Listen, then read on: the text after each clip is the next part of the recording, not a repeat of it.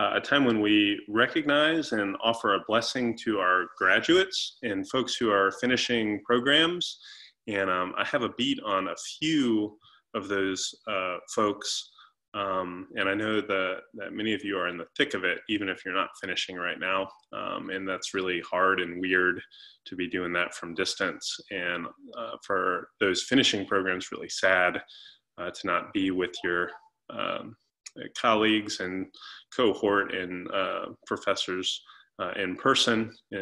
And so um, we'd love to uh, offer a blessing in coming weeks with that. So if you would, um, you can put it in the chat section, like, hey, I'm finishing X program, or uh, my child is finishing this landmark grade.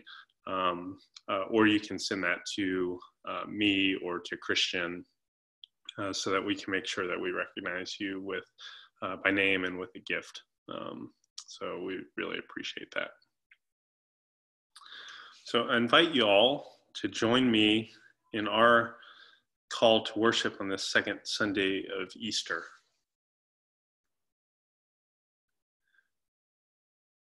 Joyful is the sound we make this morning, for Christ being raised liberates us from doubt and fear. Thankful is the song we sing, for Christ being raised moves us past darkness and despair. Jesus said, Where two or more are gathered in my name, I am there among them. Christ lives here and now. He is among us at this and every moment. May his peace and presence be known to you and also to you. Let us greet one another with expressions of Christian love. In an effort to, uh, to be more interactive in this, um, uh, now is a good time to offer a sign of Christ's peace. If you are with someone, give them a hug or a handshake or a high five or a peace sign. Uh, but also, I, invite you to, to take your cell phone and um, text someone a, sign of Christ's peace right now. You, you, can just send them a simple text, uh, peace be with you. Maybe they'll know what that means. Maybe it'll be a bizarre thing that gets them out of nowhere and out of context. But uh, take a sec and send someone a sign of Christ's peace.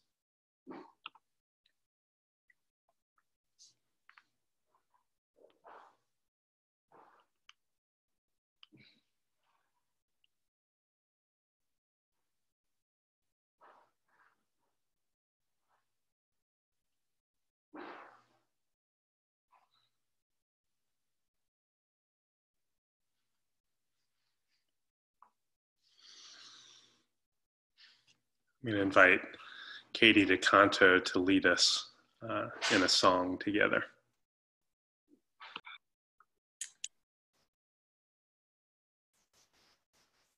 To continue the idea of participation, I think this is a song that most of you probably know. We've done it at church a bunch. It's also pretty repetitive and easy melody, so I encourage you um, to sing along and maybe clap and maybe dance around if you've got kids or if you don't have kids.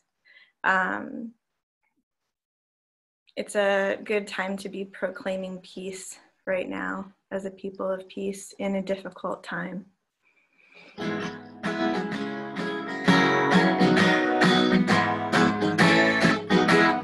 I've got peace like a river. I've got peace like a river. I've got peace like a river in my soul. I've got peace like a river. I've got peace like a river. I've got peace like a river in my soul. I've got love like an ocean. I've got love like an ocean. I've got love like an ocean in my soul. I've got love like an ocean. I've got love like an ocean. I've got love like an ocean in my soul. I've got joy like a fountain. I've got joy like a fountain. I've got joy like a fountain in my soul. I've got joy like a fountain. I've got joy like a fountain. I've got joy like a fountain in my soul. I've got peace like a river. I've got peace like a river. I've got peace like a river in my soul. I've got peace like a river. I've got peace like a river. I've got peace like a river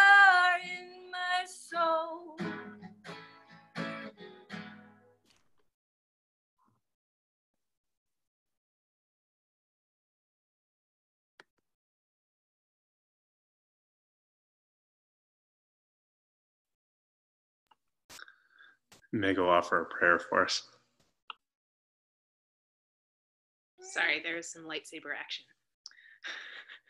Lord, thank you uh, so much for um, bringing us together this morning, for um, all of the families that are uh, together in this way.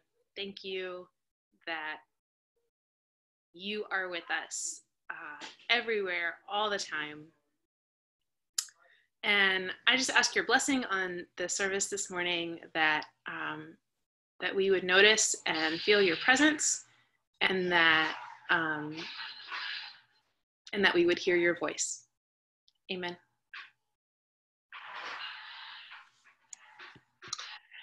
Our first reading comes from 1 Peter 1 3 through 9, and Selena is going to uh, read that for us.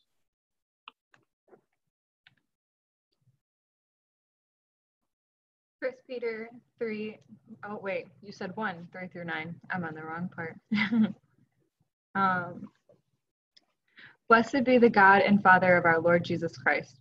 According to his great mercy, he has caused us to be born again to a living hope through the resurrection of Jesus Christ from the dead, to an inheritance that is imperishable, undefiled, and unfading, kept in heaven for you. Sorry, my puppy is interactive this morning. kept in heaven for you, who by God's power are being guarded through faith for a salvation ready to be revealed in the last time. In this you rejoice, though now for a little while, if necessary, you have been grieved by various trials, so that the tested genuineness of your faith, more precious than gold that perishes through it is perishes though it is tested by fire, may be found to result in praise and glory and honor at the revelation of Jesus Christ. Though you have not seen him, you love him. Though you have though you do not now see him, you believe in him and rejoice with joy that is inexpressible and filled with glory, obtaining the outcome of your faith, the salvation of your souls.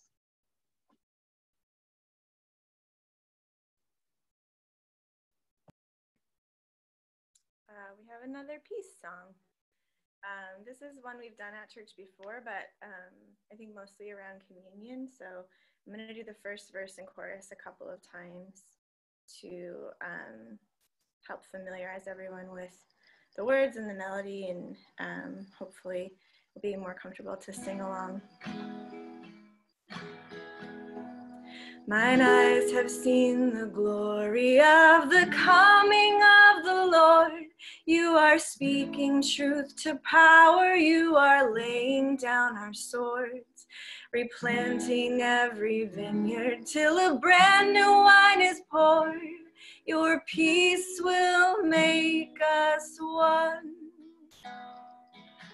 Glory, glory, hallelujah. Glory, glory, hallelujah. Glory, glory, hallelujah. Your peace will make us one. We'll do that first verse again. Mine eyes have seen the glory of the coming of the Lord. You are speaking truth to power. You are laying down our swords replanting every vineyard till a brand new wine is poured. Your peace will make us one. Glory, glory, hallelujah. Glory, glory, hallelujah. Glory, glory, hallelujah. Peace will make us one. I've seen you in our home fires burning with the quiet light. You are mothering and feeding in the wee hours of the night. Your gentle love is patient. You will never fade or tire. Your peace will make us one. Glory, glory, hallelujah. Glory, glory, hallelujah. Glory, glory, hallelujah. Your peace will make us one. In the beauty of the lilies, you were born across the sea with the glory in your bosom that is still transfiguring, dismantling our empires till each one of us is free. Your peace will make us one. Glory, glory, hallelujah. Glory, glory, hallelujah.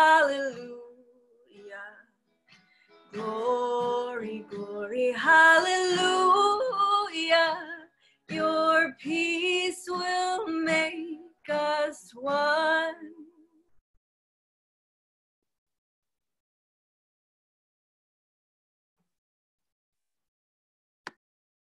Amen. And Sarah Broommeyer will lead us in a responsive song. You can respond with the bold face. Protect me, O God, for in you I take refuge. I say to the Lord, You are my Lord. I have no good apart from you. As for the holy ones in the land, they are the noble, in whom is all my delight. Those who choose another God multiply their sorrows. Their drink offerings of blood I will not pour out, or take their names upon my lips.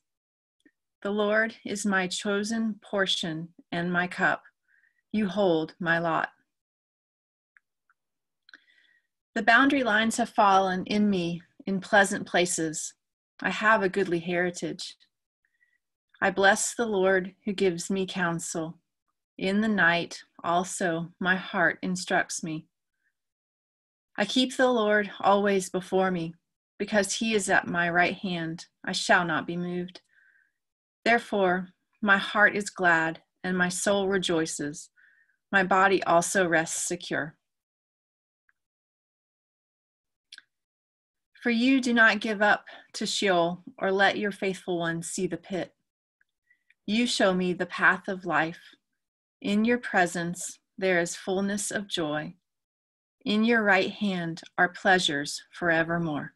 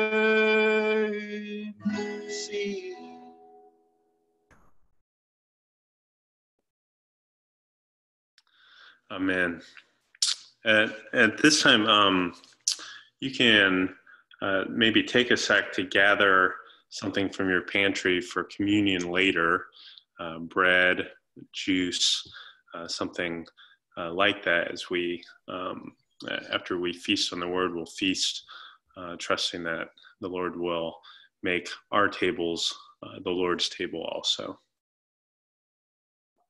I'll give you a couple a couple minutes to do that.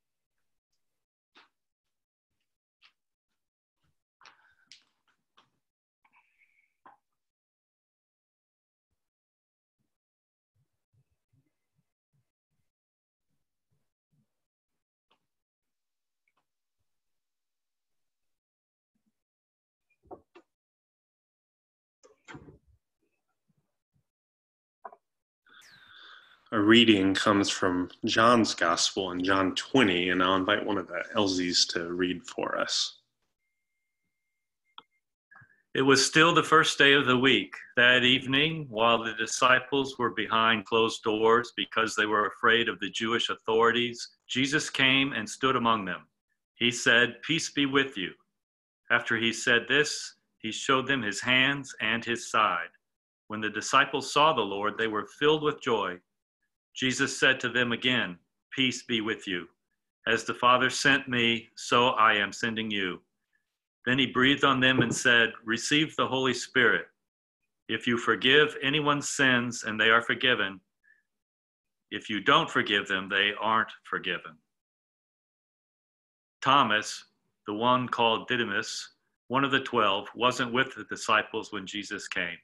The other disciples told him, We've seen the Lord. But he replied, Unless I see the nail marks in his hands, and put my finger in the wounds left by the nails, and put my hand into his side, I won't believe. After eight days, his disciples were again in a house, and Thomas was with them. Even though the doors were locked, Jesus entered and stood among them.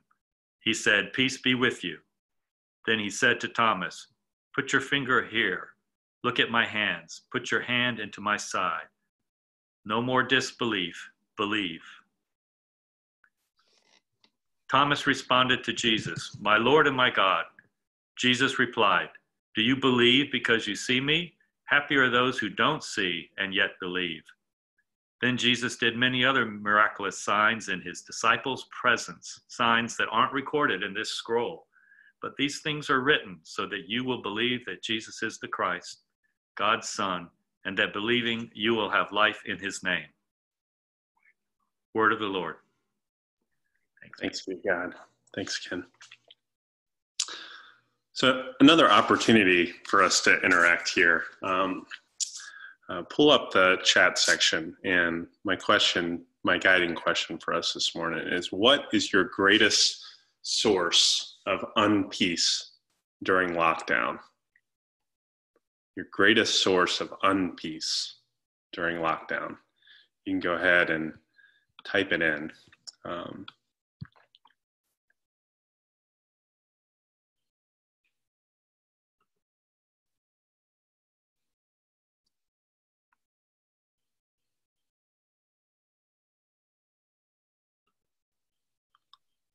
this is fascinating real time uh, collection here.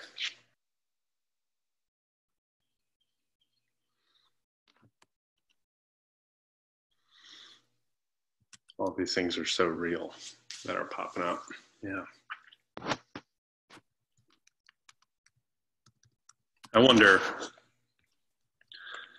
I wonder if any of these very unpeaceful thoughts were circulating in the locked room of the disciples following Jesus' death on Calvary. Like, in addition to the really acute post traumatic stress of losing their friend and mentor in a really gory and public shaming and abrupt death, they also had to be fearful that a similar death might not find them, hence why the door was locked. They had to have an unpeace related to their own physical wellness. Maybe this is a thought that some of y'all are feeling. Beyond that grief and beyond that fear, they had to be experiencing grief and fear related to the death of their expectations and their plans. Not long before Jesus' death, the Zebedee brothers were vying for a place on his right and on his left. Do we remember that story? So there had to be some sort of slow rolling wave of unpeace related to the fact that none of their plans were now going to come true. Maybe you're in the quarantine process where that slow rolling wave is starting to crest and you're feeling all of those canceled plans and, and it's creating a whole lot of grief. Add on to that on peace was some measure of economic insecurity their finances had to be erect. Their ability to live was up in the air. After all, the fishermen among them had left their nets to follow this now crucified teacher. You had to think if they went back now, they'd be damaged goods, and they're far from the port of Galilee. Maybe this, maybe the unpeace haven't hadn't even begun to hit them and how drastically their work was interrupted or would permanently be changed. After all, they'd spent the previous three or so years daily preaching good news to the poor, giving sight to the blind, binding up the broken, and delivering the captives, proclaiming Jubilee, and now they were huddled in a locked room. All of these things were threatened, not a whole lot of peace. But in this gospel reading, I think some of the good news of this gospel is that this is the first day of the week. Maybe that's John's sneaky way of inferring that while it probably felt like day 800 of their self imposed quarantine for fear of religious authorities, it was actually the first day of something new. I think there are echoes of Genesis language that even in lockdown, there might be a good day of new creation coming for them, for us. On this first day, they are met behind closed doors by the risen Jesus, and the risen Christ comes bearing peace. He comes to, it says, stand in the middle of them. And he speaks three times in this short passage. When anyone says something three times in scripture, it's not magic, but you better pay attention to it because they really mean it. He comes and he says, Peace be with you. Jesus is saying the same thing to you and I this morning. Peace be with you. This is simple, but maybe it's all you need to hear today. Peace be with you. Maybe you just need to hear peace be with you in the middle of all of these forces of unpeace that have been spinning around in your head all week. Christ comes offering peace. Ephesians 2 tells us that Christ, indeed, by the cross, has become our peace. In that way, the medium is the message, right? Um, Jesus breaks down the walls of hostility and enters into locked rooms to be our peace. I think this is also a sequel to last week's proclamation at the tombside when uh, the angel said, Jesus is not here, don't go looking for him in a dead place where he's being controlled or being predictable. Don't assume that he can't and won't come to you in the place where you are currently isolated. Jesus is entering and standing among us in the middle of lockdown, speaking peace. I've been really surprised just in the last couple weeks, the ways that I've seen Jesus standing in the middle of us during this time apart uh, mostly small things. I, have asked uh, Rach a couple times, like, is spring always this amazing, or is it just because I'm paying attention to it now? Like to be able to to walk the neighborhood and see actually see these flowers that I normally drive by and don't pay any mind to. I I see uh, Gerard Manley Hopkins talks about Christ playing in 10,000 places through uh, all of these little um, uh, incursions of beauty around us. Um, I've seen uh, Christ among us just in the interactions across the street with neighbors who n- normally keep to themselves. Um, everyone, it, it, almost feels like I grew up in Florida, and, and so we did a lot of boating. And when you're boating, you uh, and you pass someone, you always wave at them. It's like kind of the sign that everything's okay. And if you don't wave, like you might be being kidnapped or everything might not be okay, right? And so everyone waves, and it feels like like that's what's happening just on our streets. So you pass someone and, and you wave, and normally you would have your earbuds in, or normally you wouldn't pay any attention. I think in those interactions and in those surprising interactions, Christ is showing up in our midst. I've seen this as our uh, neighborhood ministry has expanded so much of church life feels like it's contracting, but it's actually expanded on Sunday afternoons uh, when I get to be with people and meet uh, people. And, and last Sunday, I got to use one of one of my most dreaded technologies, the individual communion K cup. Uh, we, we, got to actually uh, offer Christ's body in blood uh, for uh, some folks from the neighborhood who wanted to celebrate Christ's resurrection. Um, uh, with us, even though we're apart. I'm seeing Christ show up in our midst in the sort of creativity that's happening, both in the in the ways that um, you all are creatively loving each other, and uh, even in something like our musicians, the way that that our time apart has sparked their creativity in our Good Friday music, where everyone was passing around files on the internet to create some beautiful synthesis and whole. Seeing Christ standing in the middle of us, even during this isolation. There are several responses to meeting this crucified, now risen Jesus. In our passage, the first of those responses was actually joy. I think that's how we'd all like to encounter Jesus. That the disciples were able to experience this first is kind of a feather in their cap, and I think it's a real sign of God's grace to them. Sometimes, even when we're confused, even when we're dejected, God still gives us the ability to experience joy in Christ's presence, maybe even in spite of ourselves. Um, uh, I, I, couldn't help but think uh, about this uh, radio show podcast. Uh, many of you know of it called On Being. A couple years ago, they had a guest named Ross Gay on. He's a poet and essayist. And the host, Krista Tippett, was talking about uh, this sort of graceful, resilient joy with Ross Gay. And in their conversation, she said, But, you know, joy is our, our capacity for joy despite and through that. And she's talking about you know the fact that we're all going to die and things are going wrong all the time that joy actually joins us together. It's a leveling in a way she says. And Ross responds totally. It's sort of like uh, you know it's joy by which the labor that will make the life that i want is possible.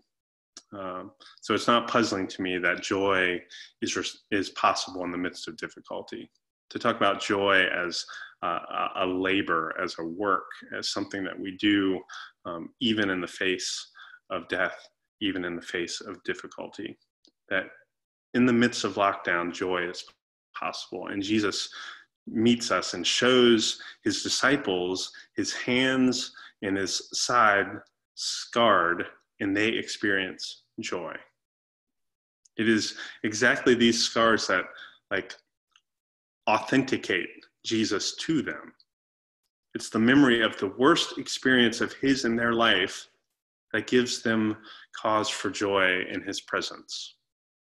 I pray that for all of us today. For some of us, this is the worst experience of our life, being apart and all the stress and all of the things uh, that, that weigh down on us. But I pray that we're still able with Christ's presence among us, where two or more are gathered, even by Zoom, that we might have license for peace and for joy. And, and when I say that we might have peace, I don't think that this is an easy peace. We remember all the Old Testament prophets are, are really critical of those who try to paper over unpeace by just saying peace, peace, where there's no peace, right? But this might be a hard fought and durable peace that is born by suffering. And that this might be a joy that becomes a labor of love on this new day of creation. The risen Jesus is working among us through pain and the memory of pain to bring about joy. Jesus is working in and through our pain, in and through suffering to bring about joy. Now, this isn't quite enough for Thomas, though. Thomas has one of the most unfortunate nicknames in history that is stuck. Like, I think of when you were a kid, uh, on the playground you would get unfortunate nicknames and normally that it, within a couple years you'd graduate you get level up a grade and normally those nicknames don't follow you but thomas inherits this nickname for his doubt and it sticks it's so awful but it, it seems in thomas that the, the same grace the other disciples have to experience immediate joy in christ's presence doesn't quite uh, bring about the same sort of instant and satisfying joy in Him. They were able to see and recognize and proclaim, We've seen the Lord. They seem to understand at some level that there's this objective reality that through death and into new life, Jesus is now the Lord over all creation. That in the in the, the words of of Romans, Jesus' death and resurrection gives him this range where his his lordship and his power extends to the highest heavens and to the deepest depths. The, the, the love of Jesus uh, goes deeper and wider and higher than we can imagine. And they seem to understand this by saying, We've seen the Lord. He's control, he, he's in control over even death and the grave. This is the, res, the same kind of recognition that happened when um, the writer of Revelation, John, uh, um, sees the risen Jesus in the beginning of the apocalypse. Revelation 1 17 and 18 says, When I saw him, this is Jesus appearing, it says, John says, I fell like a dead man at his feet. But he put his right hand on me and said, Don't be afraid. I'm the first and last and living one. I was dead, but look, now I'm alive forever and always, and I have the keys to death and the grave. It seems like uh, all of Thomas's friends were able to kind of get this in an instant that Jesus has the keys to death and the grave, and that's a uh, cause for great joy. But Thomas needs not only to see, Thomas needs to touch. Many of us are feeling this desire towards tangibility. So many of these comments that, that I was just breezing by talk about I miss being able to hug someone. I miss being able to be with my friends. Many of us are feeling this desire towards intimacy, towards tangibility. We miss our people, and it's great to see them, but we want to experience a hug or a handshake or a touch on the elbow that communicates understanding or the sort of eye contact and active listening that we don't have high enough resolution, even in our best technologies, to capture. That our technology lags when it even tries. So Thomas needs to touch Jesus. There's a, a famous image of Thomas, the incredulity of St. Thomas by Caravaggio. You can see Thomas gets up in there. He, he's not, not satisfied to sit back and see from a distance. Thomas needs to touch Jesus. Thomas needs to empathize. He like empathize means to share in the pain of. He needs to share in Jesus's wounds, and he's going to share in them with his finger in his eyes. In Jesus, Well, Jesus gives Thomas this grace, this gift. Jesus knows how tangible faith is and must be and doesn't chasten Thomas for it. Thomas is then able to respond with the others. But even more personally, says that, that Thomas touches Jesus' side and his hands and his feet, these scars, these wounds, in response by saying, My Lord and my God. Not only for Thomas is Jesus the Lord, but he has, through his intimacy and generosity, become Thomas's Lord. Jesus welcomes our own exploration and our own questions and invites you to know him as the Lord, but also as your Lord. Maybe, maybe this time apart gives us the time and the space to continue to explore and to question, but also when it comes down to it, to know Jesus on a more intimate basis. Our reading closes with the whole purpose of this this meeting, but the whole record, the whole scroll, it says. And that's so that you will believe that Jesus is the Christ, God's Son, and that believing you will have life in his name. Friends, even in lockdown, you have been given grace and peace.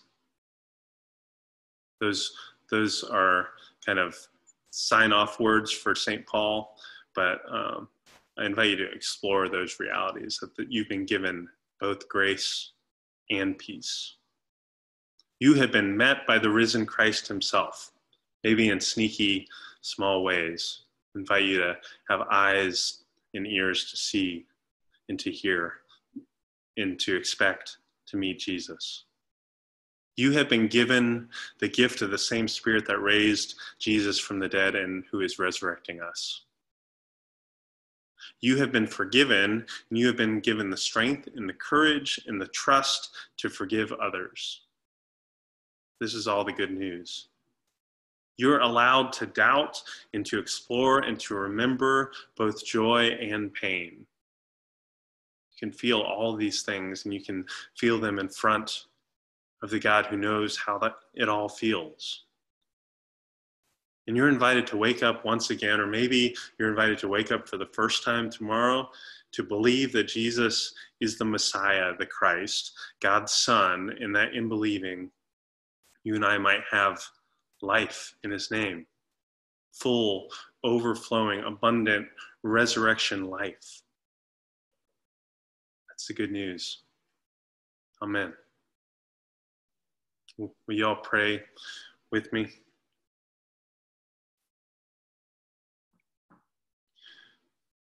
Lord Jesus, we thank you for this story that is wrought with fear and uncertainty and meets us in a time of fear and uncertainty, in fatigue and all of these feelings.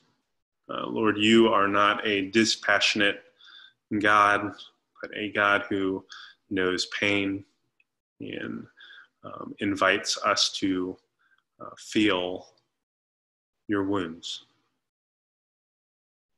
Lord, give us um, hearts that uh, feel deeply um, give us minds that are um, courageous and guided by the hope of faith and the ability to receive your grace. Lord, continue to enter into our lives and speak peace. Peace in all of the um, unpeaceful circumstances, whether that be family life or work life or economics or uh, loneliness, all of the things mentioned. And Lord, thanks for uh, the life that you offer us by your Spirit. We give you thanks for all these things. In Jesus' name, Amen. We're going to keep our prayer going um, by inviting Nate Hood to lead us in our prayers of the people.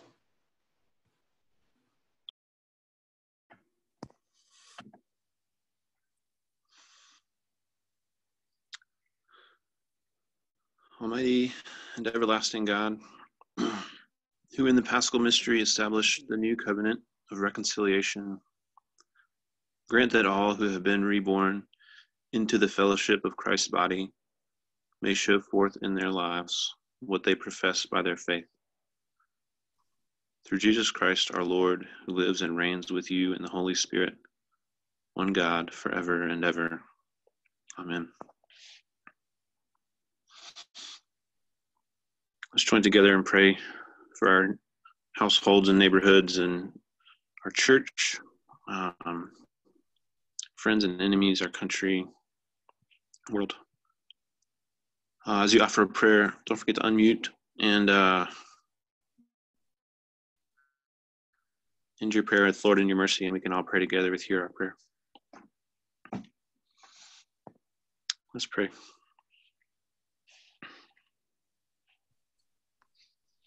Lord, I confess that I am in need of you in the midst of my own fear and my own uh, fear of my pain in my past and getting kind of my world getting kind of narrower, smaller in this time. Please come and meet me uh, in little ways and help me pay attention to um, how I can be generous and how I can be giving to those around me.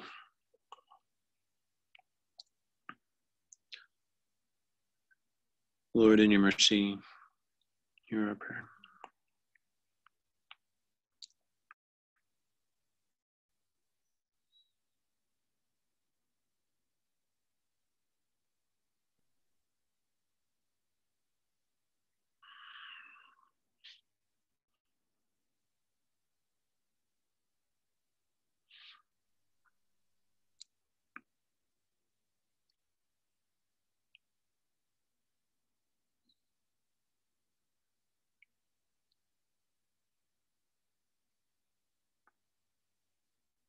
God, um, I pray for everyone who leads um, in our governments in this country, God, whether they be an executive person, a legislator, a civil servant, an expert, a non expert, whatever capacity. God, we have so much division and contention and mistrust. God, please um, help all our leaders to make choices wisely and courageously, not out of fear, not out of anger to get back at others, um, but out of a desire to um, foster a world in which we can flourish, God. We can have good life together, God. We can have peace um, instead of one of enmity and of suffering. Mm. Lord, in your mercy. Yeah.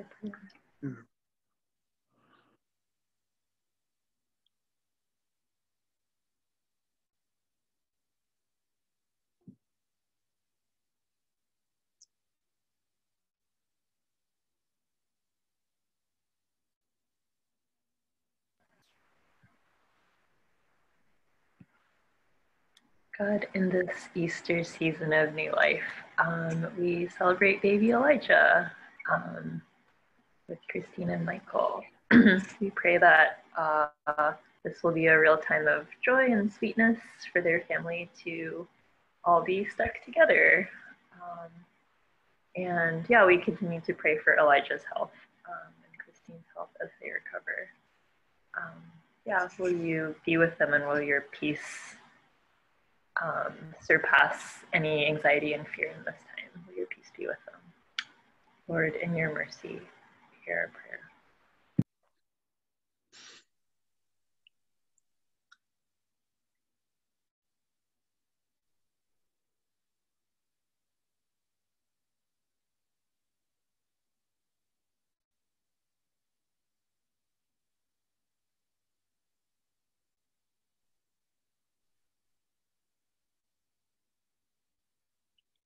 Thank you, Lord, for sparing my 85 year old Aunt Joan uh, from the uh, virus. She has recovered. Thank you for hearing our prayer, Lord. And I ask for Katie. I lift her up and her little baby and Steve and and to just um, give them peace, Lord, about what's to come. Um, help her fight those fears and um, and just bless them, Lord, and continue to grow that baby and just give them health, Lord, and well being through all of this, and help her family and friends to um, accept whatever the limits are of, of our exposure to them. And I just thank you and praise you, Lord, in these things in Jesus' name. Lord, in your mercy, hear our prayer.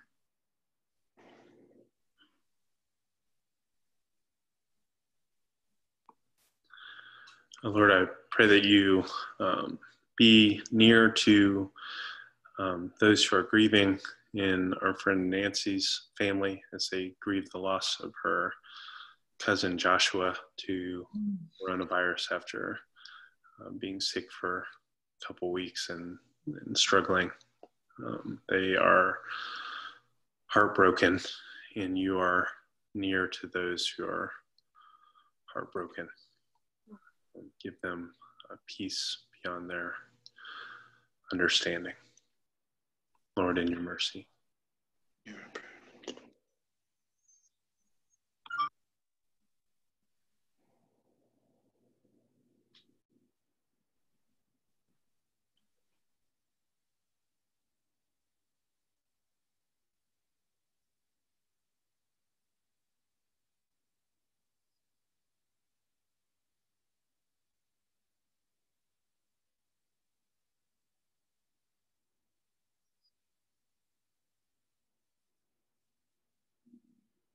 God, I pray for um, peace um, in my home and in my family, um,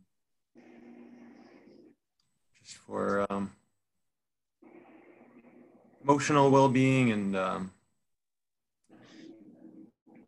help with parenting, and um, just uh, confess that we're all under a great deal of stress and uh, could really use peace right now. Lord, in your mercy. Hear prayer.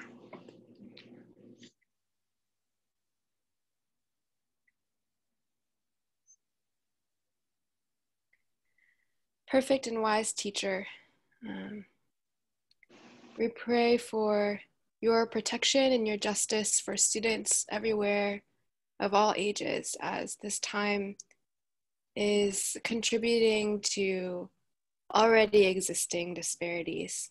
Um, we pray that you give students safe places to be right now um, and to open their minds to the ways they can learn from everyone and everything around them, even when um, formal school and formal class structures are changing. God, I pray that um, in the future, as teachers, administrators, um, people in government as they make decisions that affect education.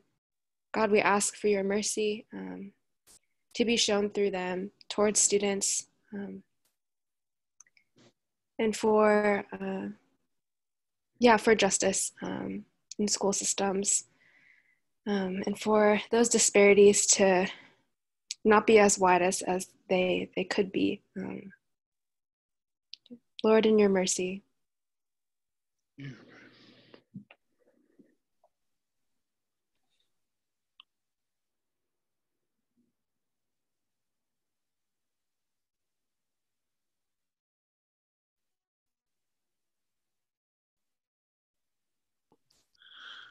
Lord, I, I, pray for our friends at the Gathering Church as they are in a season of transition. Um, uh, as Pastor Mark Acuff uh, has his last Sunday before his retirement next Sunday.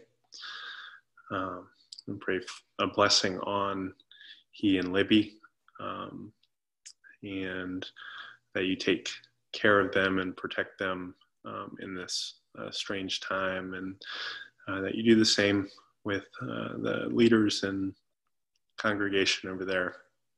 Um, give uh, Kurt and Ginny and um, Rochella and the leadership team everything that they need um, and be with them. We give you thanks and Lord, in your mercy. Yeah.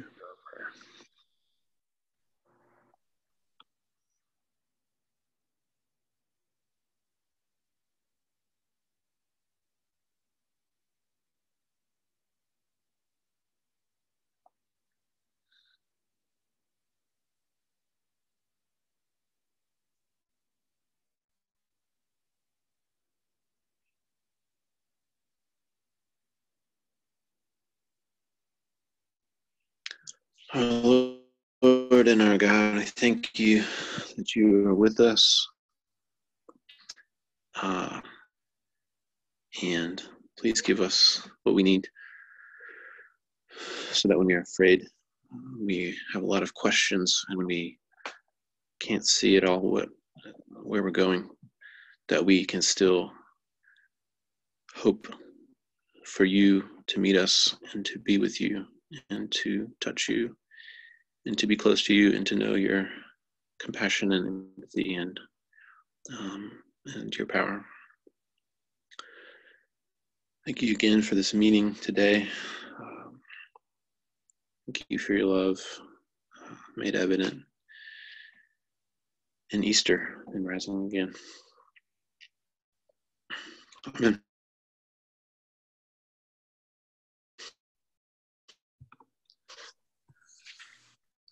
Before we gather around the table, if you join me as we confess together. Almighty God, you have raised Jesus from the grave and crowned him Lord of all. We confess that we have not bowed before him or acknowledged his rule in our lives. We have gone along with the way of the world and failed to give him glory. Forgive us and raise us from sin that we may be your faithful people, obeying the commands of our Lord Jesus Christ, who rules the world and is the head of the church, his body. Amen.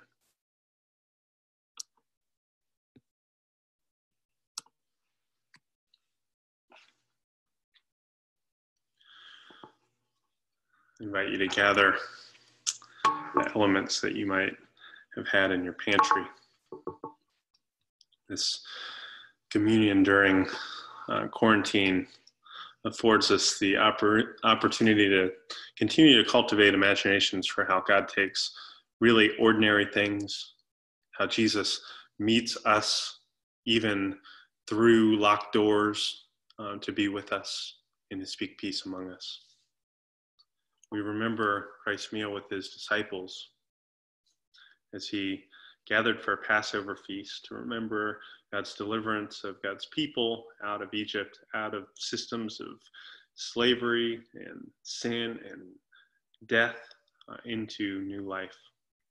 He took the Passover bread and he blessed it, giving thanks to God. He broke it and he gave it to them and said, Take, eat.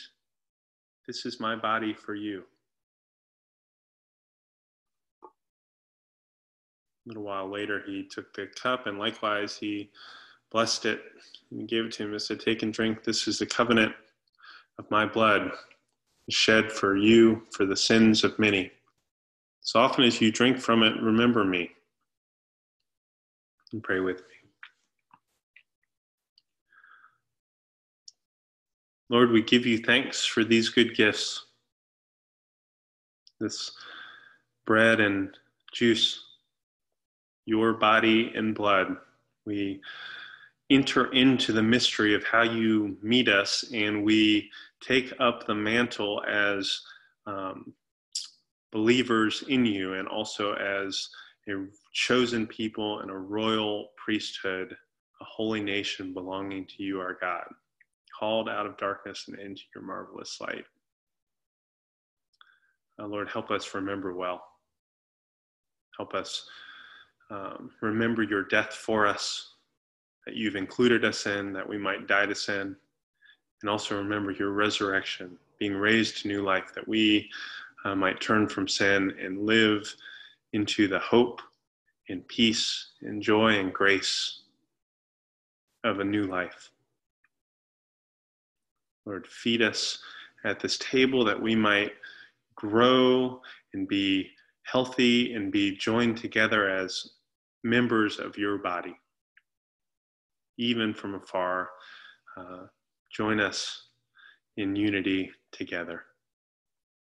We pray, uh, we pray all this in the strong, resurrected name of Jesus, the Lord and our Lord. Amen. Body and blood of Christ, broken and poured out for you. Amen.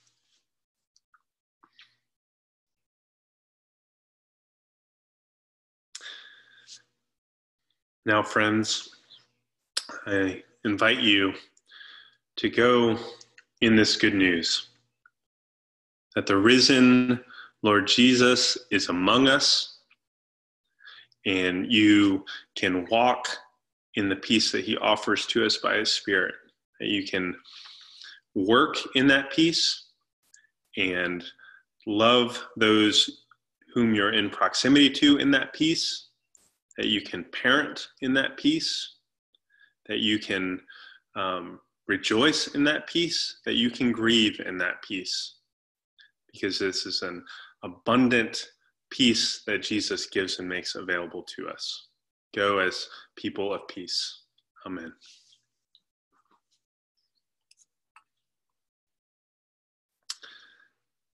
Thanks for being together, y'all. Um, I invite you all to stay on and connect and share uh, together. Um, be praying this week also for um, our uh, ladies who are expecting and also for the pains as they settle in. Um, it, you also received in the church email uh, an urgent uh, request for um, household goods for our friends at Jubilee Home who have shifted towards uh, being a uh, shelter for um, men who may or may not have been exposed to coronavirus. And so they need new uh, twin XL sheets, um, towels, linens, socks, and underwear that can be in the form of Walmart or Target gift cards. They're really emphasizing new. Um, some people have been really generous with uh, really gently used stuff, but they emphasize new because um, these are um, uh, linens and things that, that they're going to send with uh, these men after their uh, time at Jubilee Home is over. And, and uh, frankly, uh, everyone deserves new linens. Um, and so if you want to be a part of that, you can um, either by buying the goods or by sending money to the goods. I direct you to Jubilee Homes uh, website, which has info for their MoGive or their Venmo as a way to get them money, um, and also uh, contact info uh, on how to drop that those materials off if you're looking for a car ride. Uh, if you are not looking for a car ride, you can connect with me, uh, Chris at all, uh, Chris at oakdurham.org um, and I can coordinate a pickup from you. I'll, I'll come to your porch and pick it up and deliver it to Dave and Amber at Jubilee Home. So thanks for y'all's generosity with that. Uh, peace.